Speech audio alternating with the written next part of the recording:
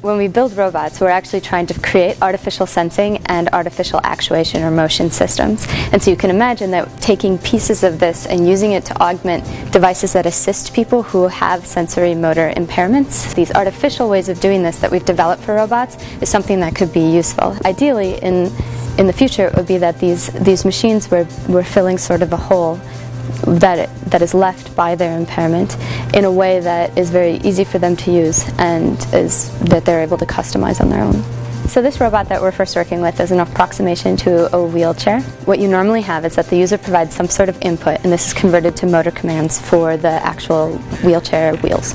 And that's how a user can operate manually a powered wheelchair.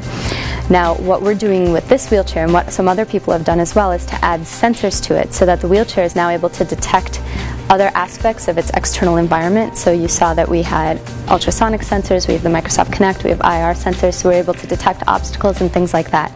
And what we do then is that first we have this um, sensing capability, and then we actually reason about it with some sort of AI logic, and we use that in order to change what the motor commands to the wheels would be. And a high-tech solution isn't always the right solution. Lots of times patients don't want to give up their control, um, so sometimes the existing tools that we have are actually the right solution or pieces of them. And so that's really why in my lab we're taking the approach of adding in automation selectively, not just trying to make a wheelchair that is a mobile robot, but instead allowing the patient to opt into and out of different modes of automation and even adjust the automation using ma machine learning techniques.